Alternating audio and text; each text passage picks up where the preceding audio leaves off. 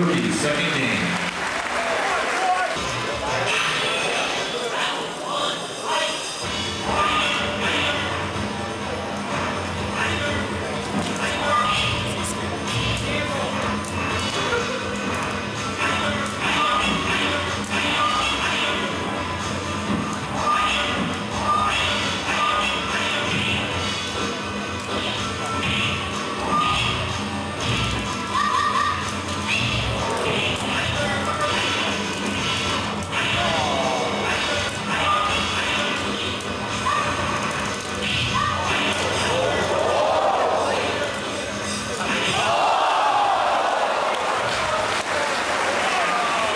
is down to his last round.